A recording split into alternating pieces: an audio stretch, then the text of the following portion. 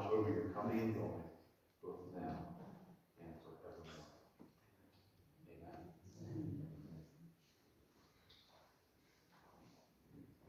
I have just one brief thought, and I don't exactly know how it applies to what we just been thinking about, but in the realm of human experience. So there's two things, right? There's relationship to God and relationship to others. And I've been watching our chickens in the back garden. Um, we had two one died, and so then we got three more. So now there's this one old hand, and there's these three newbies. And you would think that they would be okay. There's only four of us in the world, as far as we're concerned. We should get on. But we don't do that. We, we peck at each other. And even if you're at the bottom of the pack, if, if you figure out a way to pack someone else, you'll do that. So no matter how mean everyone else is to you, you don't take a lesson and say, oh, I should therefore be kind, but it's not that. No, you also be mean. So it's like, it's dog eat dog or chicken eat chicken, that, that sort of thing.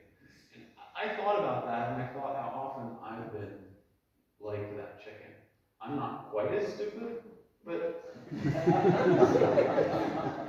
you know, I, people do things to me, they hurt me, and I'm like, that, that wasn't nice. They, they really shouldn't. They shouldn't have done that. They should have been kinder. They should have been this. They should have been that. All these suggestions for everyone else. And then there I go sometimes. So what I guess what I'm saying is, as I think about a relationship with others, let's not be like chickens. Um, that's what I learned from my chickens this week. Or we've been watching them get along. So God bless you with that. Uh, we're going to turn over the service now to um, Paul, who uh, has a prayer, I guess, and post the message. So God bless you, Paul.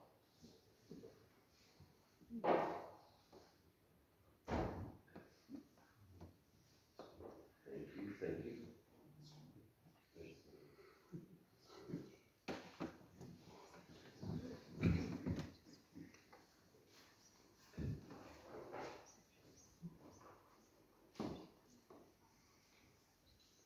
Morning, everybody.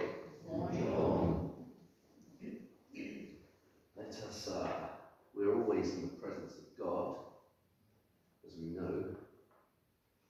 Um, let's let's pray. Let's come before Him now. Ah, Lord God, we're always before you. Forgive my foolish thinking, Lord. Thank you, Lord, that you're always present.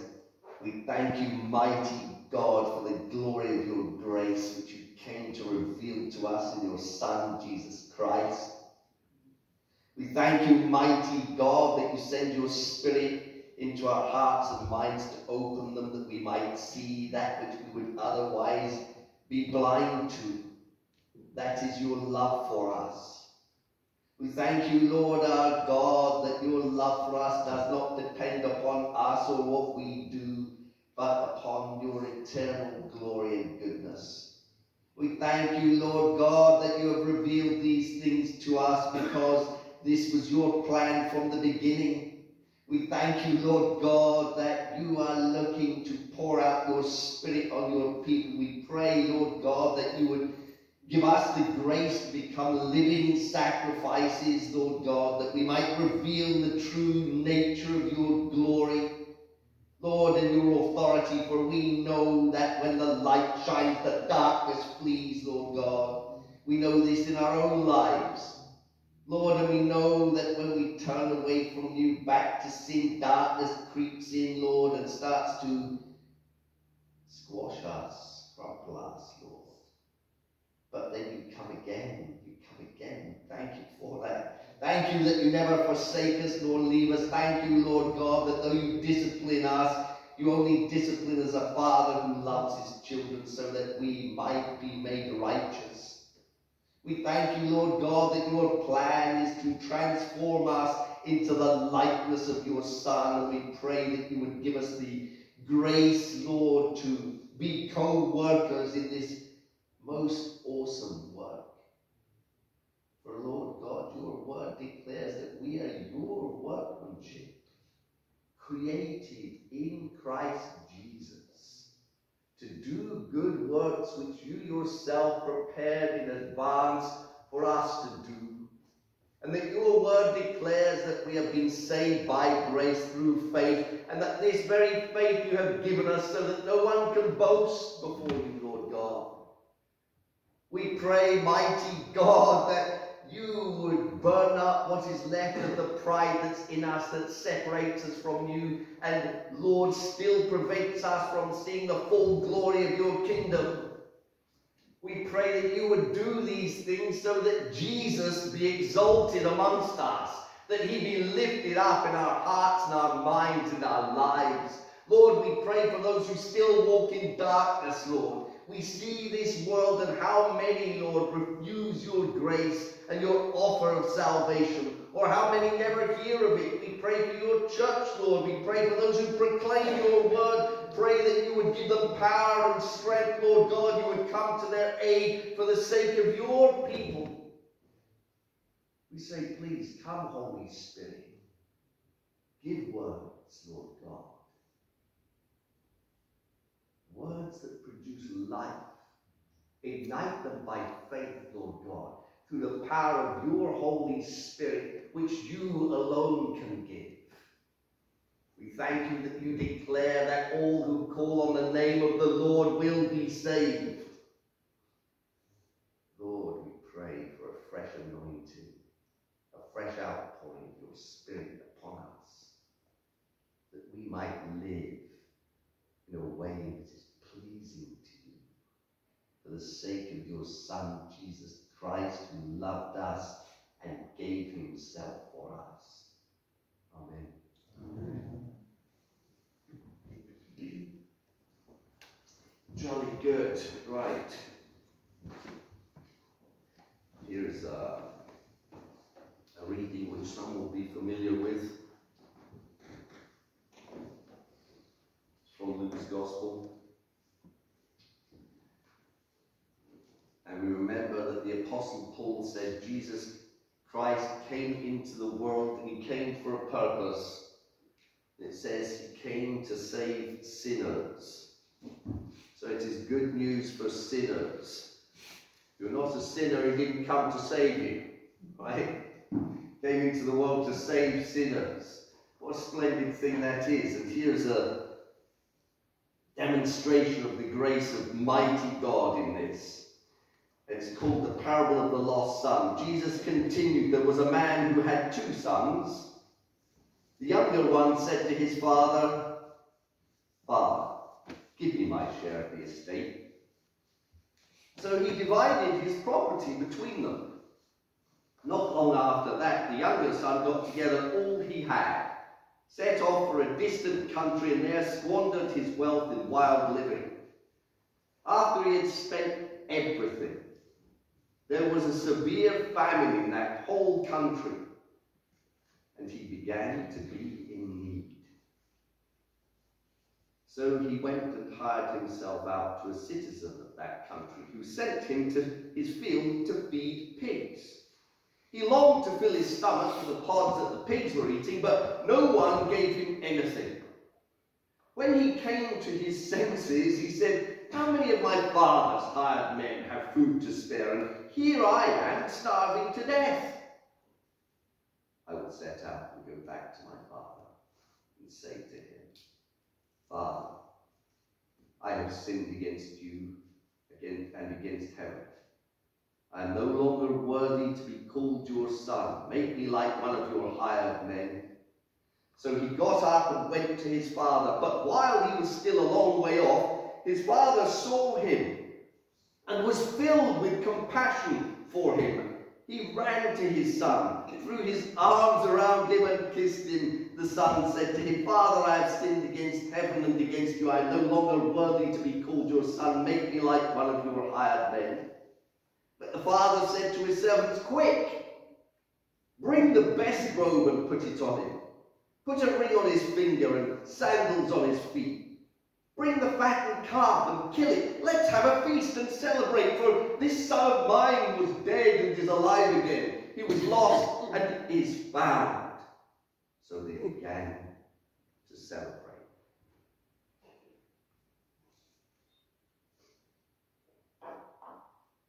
There are some that say religion is a mechanism through which people are controlled. And there's no doubt that the church, amongst others, has used the uh, gospel in a way to control people. For example, the Roman Catholic Church refused to allow the Gospels to be translated from Latin into English. And uh, that was ostensibly so that they could have complete authority, because if you don't know what it says, how can you argue with them? And they maintained that position for a lengthy period of time. And men gave their lives, sacrificed themselves. Tyndale, who translated the New Testament into English, was hunted down and burned. There was a time in this country where if you were found with a Bible in English, your life was in danger. Satan has many strategies. Isn't it remarkable? One time, your life would be in danger for just having a Bible. Now, there are many Bibles. You can go to a car boot sale and somebody won't pay two quid for one. Staggering, isn't it? Really. So the idea that um, God is this control freak who's just going to utilize his authority to put impositions on people and make them like prisoners is completely untrue. And what we have here is the picture God as a father. And to be honest, I think that you would say that if there was a father that's portrayed here as God is, you would call him irresponsible. For what father, in his right mind, having two sons, had the younger one come to him and say, Father, give me my share of the estate? You think the father didn't know what he intended to do? You think the father thought he had a sensible plan, an investment strategy. You think the father thought the son is going to go away and responsibly use this to expand the kingdom. No, he knew all along. God does not take prisoners because people are already prisoners to sin. He has come to set them free. And he allows them to exercise their so-called freedom in sin to reveal to them that they're really prisoners.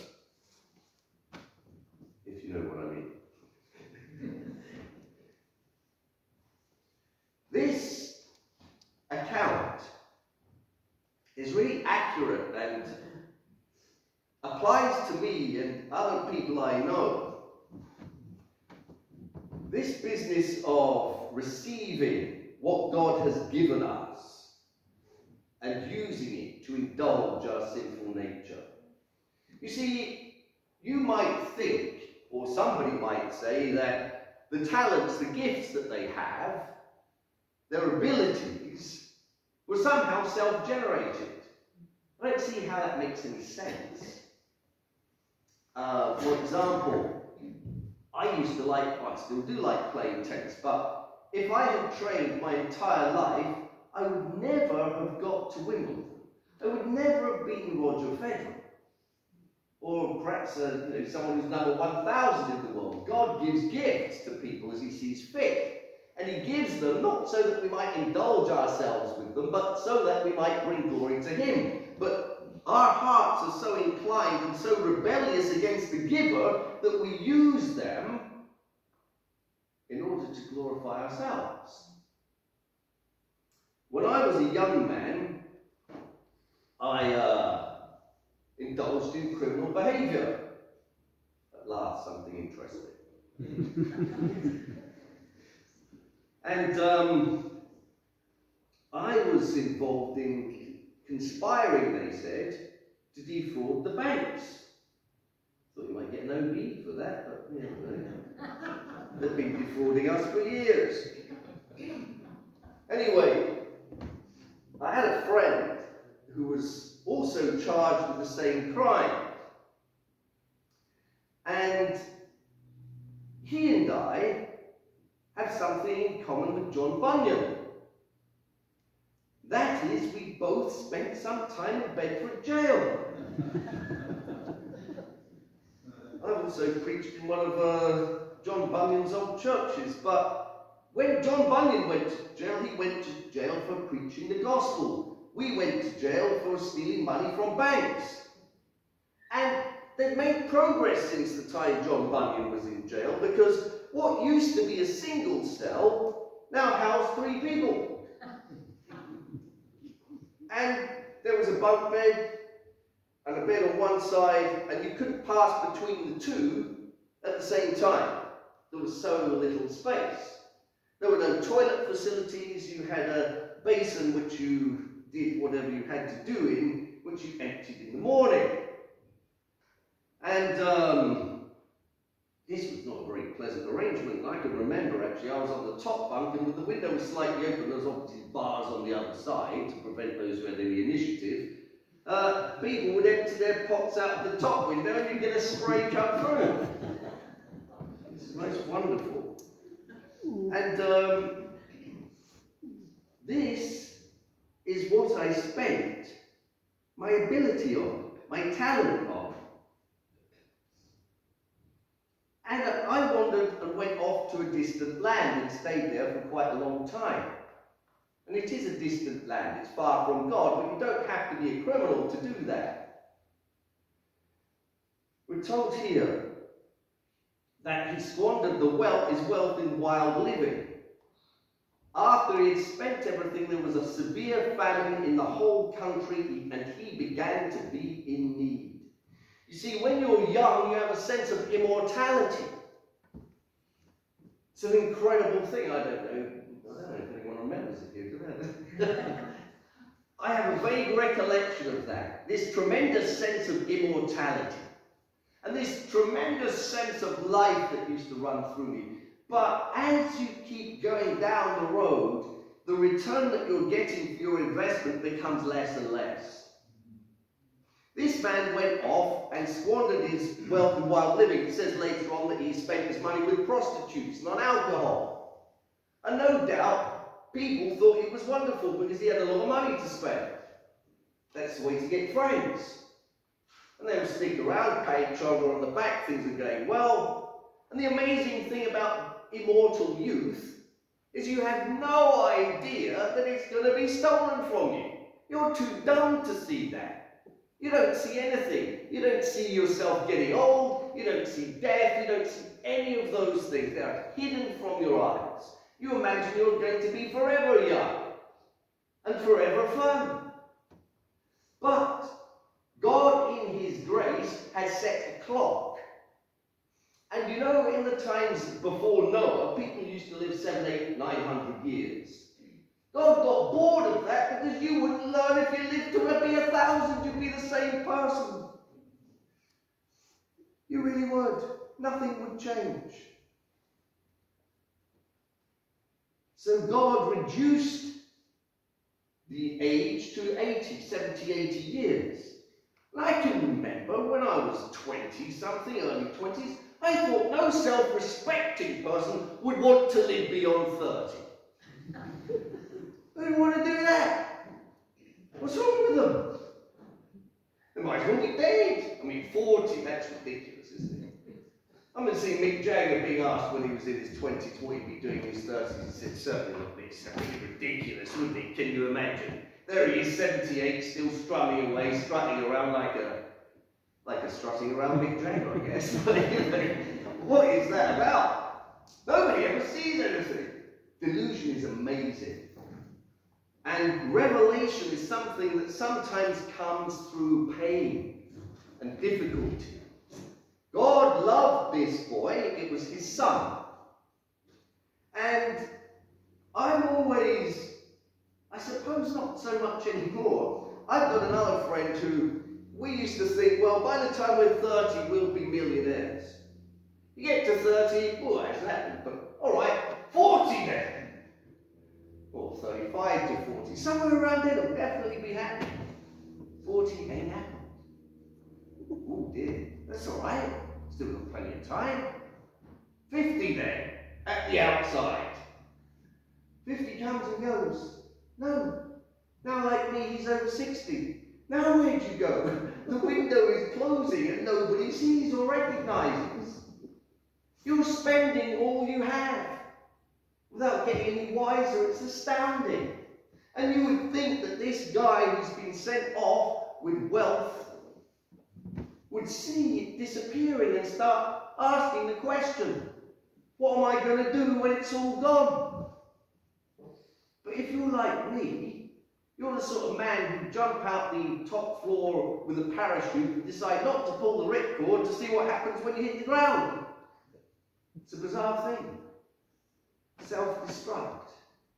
It's woven into your nature and is an ally of Satan and a demonstration of the reality of his existence and his power over you.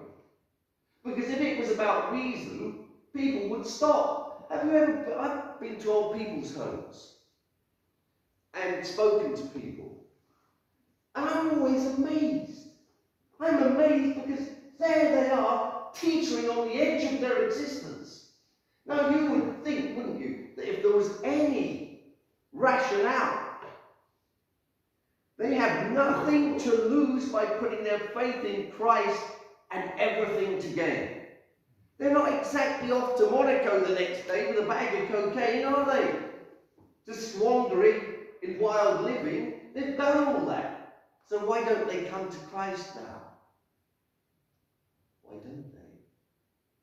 Because there is an authority and power which is preventing them. And the kingdom of God is not just about talk, it's about power. It's about the power of God because it's only the power of God that will transform anybody. Consider your greatest enemy, my greatest enemy, and your greatest enemy till the day you die is pride. Look what happens to this guy? Once he's spent everything, there's a double whammy. Because even if his friends would have felt inclined maybe to help him, God sends a famine. So that now, even if they wanted to, there was no opportunity because everyone's up against it. This famine here is described as a famine of a, a, a material kind. But there's also spiritual famine, isn't there? I mean, I don't know about you, but it seems to me the older people get, the more obdurate they look. The non Christians, I mean. You can see that death has got grip on them. There's no joy. Is there?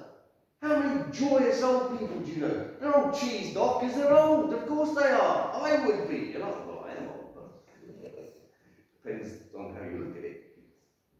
The, the point being is that what is being stripped and taken from you is that glory of youth which has disappeared. Now, then you try to fill that vacuum with something else. Now the something else doesn't work anymore. And at the end of the day, you're a dried up husk. That's what happens. That's the reality. Unless God is pouring His Spirit, His joy, His peace, His love, what, what are you going to substitute it for?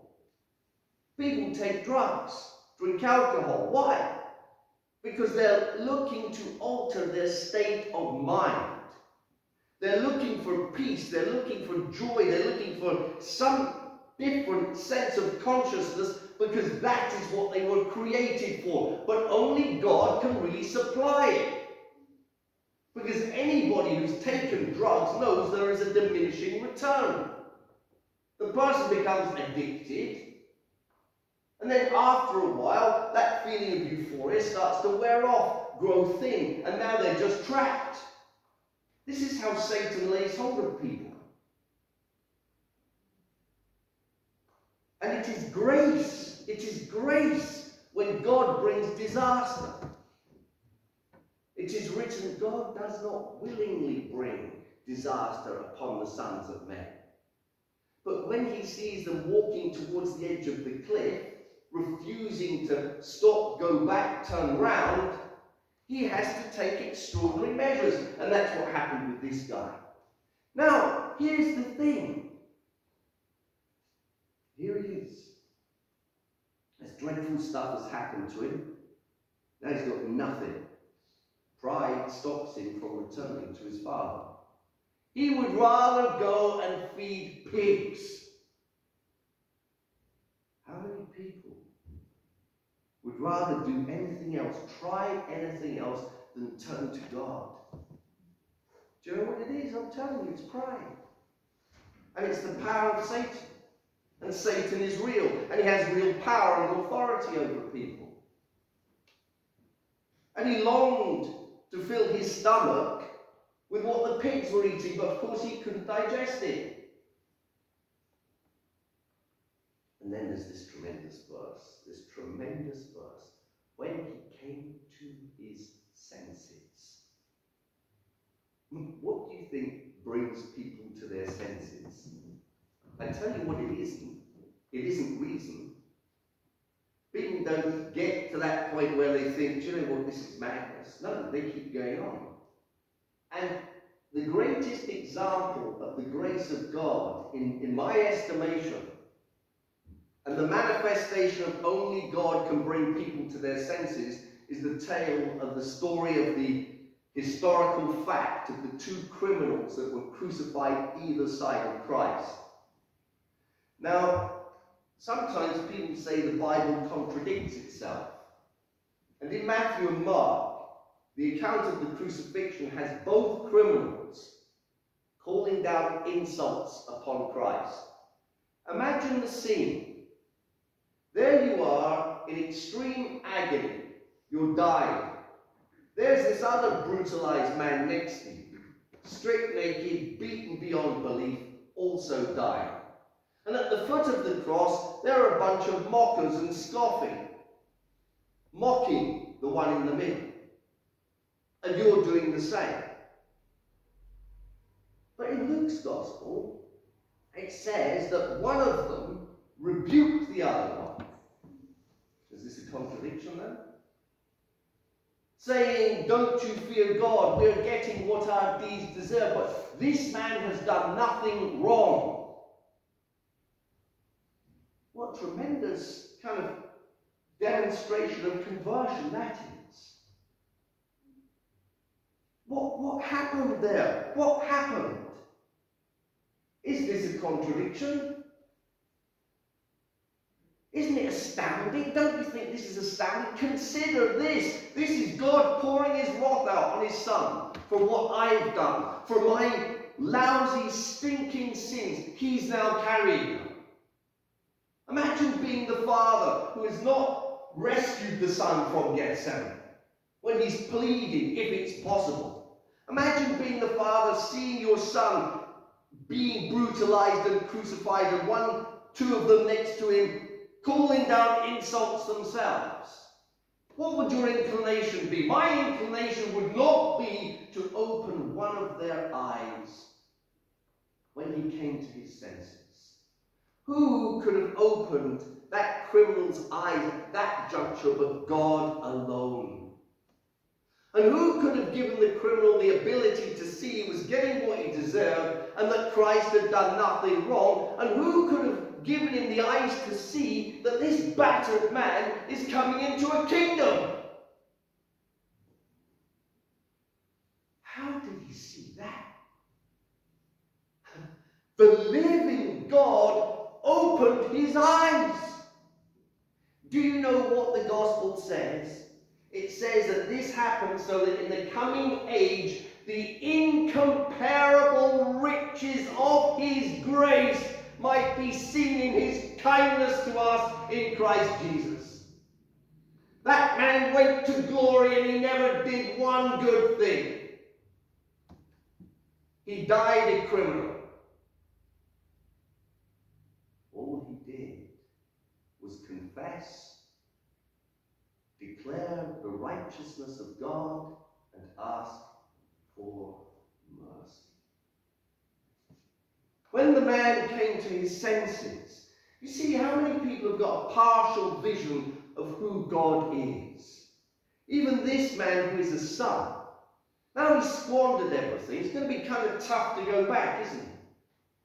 He left home wearing the finest clothes, fully bundled and full of himself. Now he's starving, dressed in rags and smelling of pigs. Animals which were not to be associated with if you were a Jew. And yet he's got some inkling. He came to his senses. God starts to open his eyes because he realizes and he says, What am I doing? He says this How many of my father's hired men have food to spare? Here I am, starving to death. I will set out and go back to my father and say to him, Father, I have sinned against heaven and against you. I am no longer worthy to be called your son. Make me like one of your hired men. How many of us really consider ourselves to be like one of God's hired men? How many of us have been deceived into going back into that position where you imagine that having received salvation as a free gift of God, you're now going to have to earn it? There are now things you're going to have to do. Make me like one of your hired men. It is not that there is nothing we have to do, it is the attitude with which we do it. If we do it with praise and thanksgiving, then we will be operating in the power of the Spirit. I don't, can't do anything. I can't add to the finished work of Christ.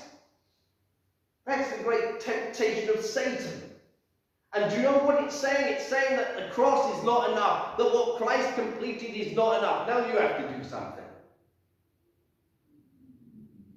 You don't have to do anything to earn it because you can't earn it, because that would be an insult to the blood of Jesus. So therefore, let us do whatever we do with thanksgiving and joy. Because do you know what you're saved for? You're saved to praise God for the glory of His grace to you. Hallelujah. That's an extraordinary thing. And the man sets out. And it was only because of the cross that he's able to return. Only because the debt's already paid before he sets one foot in front of the other. Because Christ has already paid for all that sin that he's been committing. And the Father, who gave his Son because he so loved those he came to save, sees him whilst he's a long way off. He's coming from a distant land. He hasn't got any good works. He's got nothing to recommend himself to God the Father for. Nothing. The Father sees him full of compassion. How about that? If it was me, I'd be looking down the road to see my son coming back. Sure I would. But when I saw him in the distance, I wouldn't be running to him. I'd be going back into the house. Thinking, you know what? I want to hear what he's got to say when he gets back. I want an explanation. I mean, for goodness sake, boy. Didn't you realise, having spent half of it, this isn't going to end well? How did you manage to plough on and churn all of it? Yeah, get right you'll be like the hired man. You start now. this isn't who God is. Seeing him, he runs to him, throws his arms around him.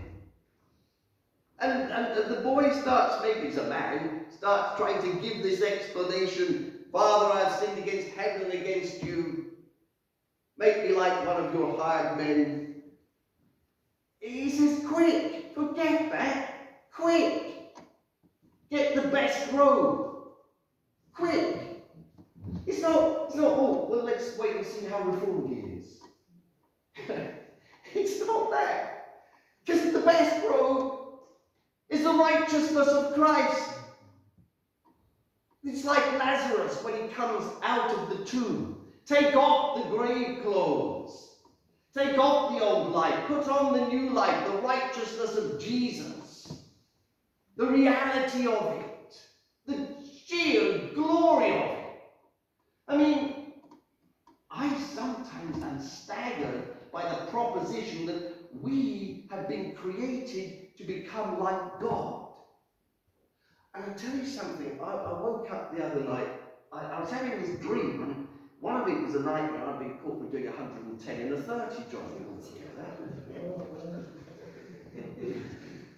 Thank goodness it wasn't true. and then uh, the other thing that came to me was this. That's the white stone in Revelation. And you know what? It was a real revelation to me. Because it says that you will be given a white stone with a new name written on it that only you know. How about that? You know what? That just amazed me.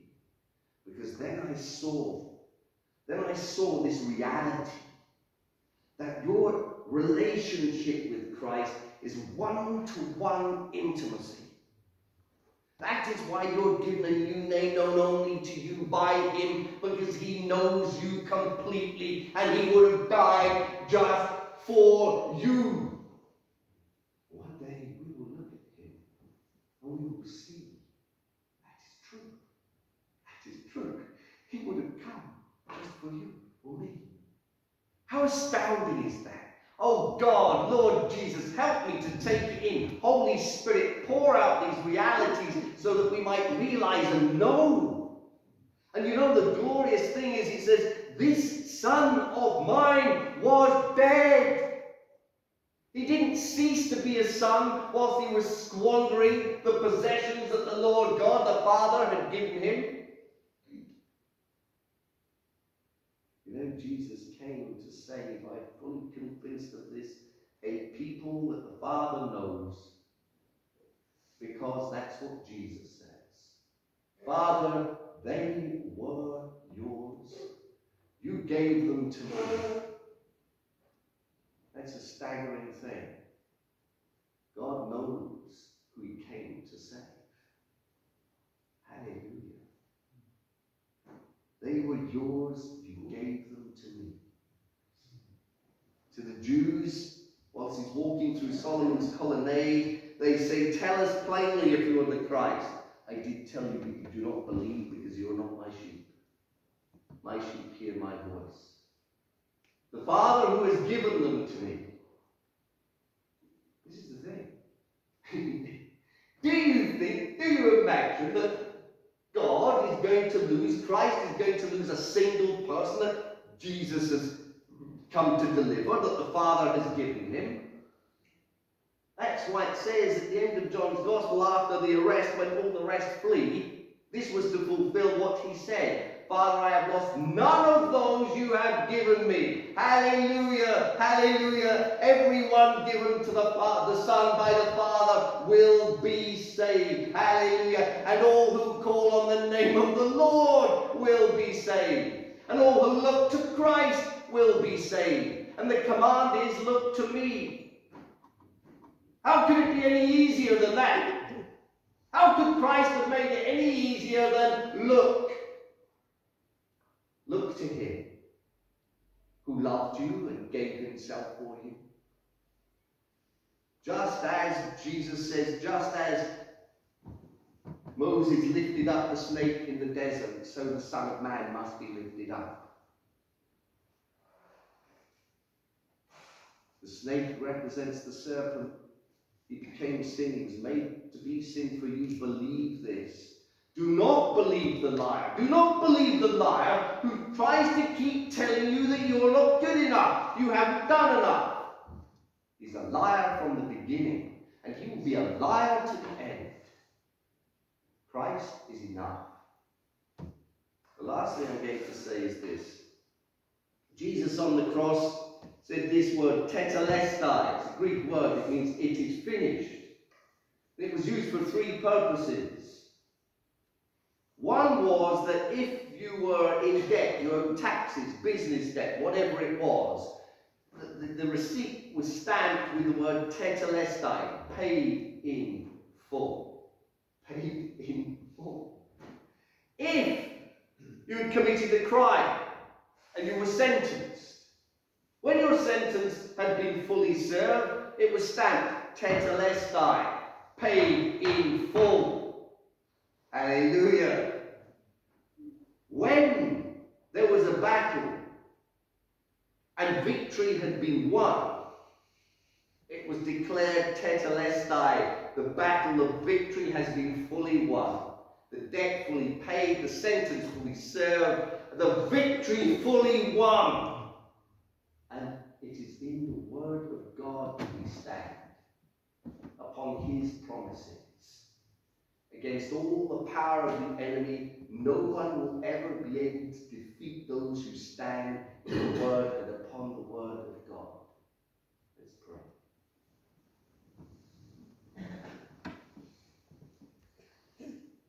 Father, thank you for your word, Lord God. Forgive us for when we have doubted it, Lord. Forgive us, Lord, when we allowed the enemy to intrude